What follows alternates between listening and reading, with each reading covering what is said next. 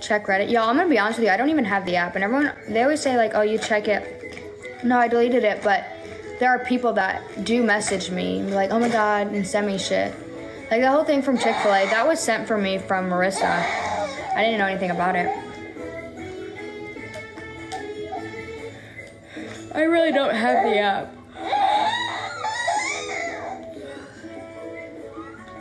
But people send me stuff. Dude, what's going on?